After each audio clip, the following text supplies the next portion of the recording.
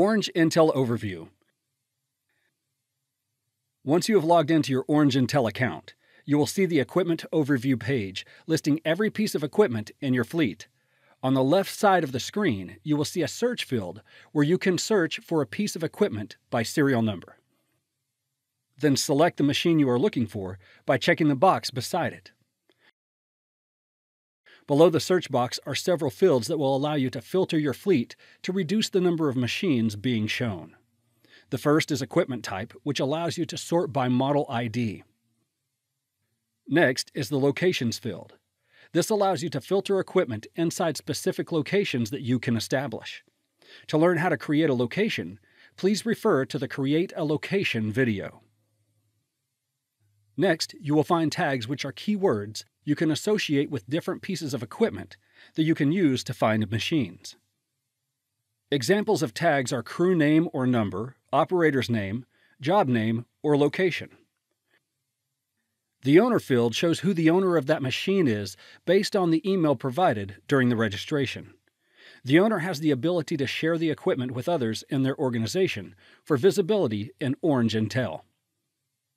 To learn how to share a machine, please refer to the Share a Machine video.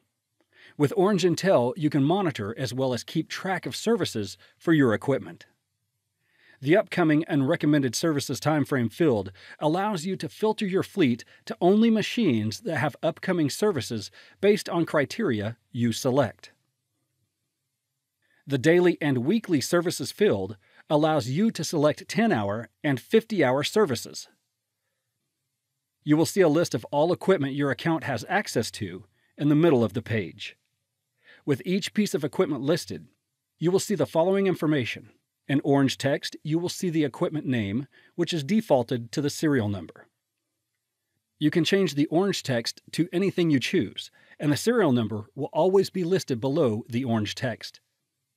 The next line of information displays the closest known address to where the machine is located as well as notifications and other locations you have established using a geofence. Last is service type, which indicates whether the machine is equipped with telematics or GPS, and the date the telematics or GPS service will expire. Below that, you will see any tags you have associated with that machine.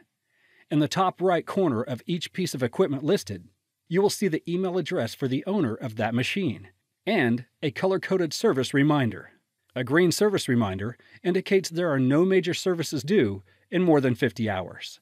Yellow indicates you have a service coming due between 10 and 50 hours, and red indicates a service is due in less than 10 hours. Another way to view your entire fleet is by using the map view located in the top right corner next to the list view. Across the top of the screen, you will see the following tabs Equipment, Locations, Notifications, and User Settings.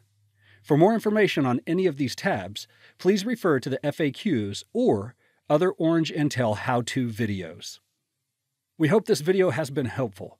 Tutorials on additional topics can be found in the FAQs section of Orange Intel, on our website at www.ditchwitch.com, or on our Ditch Witch YouTube channel.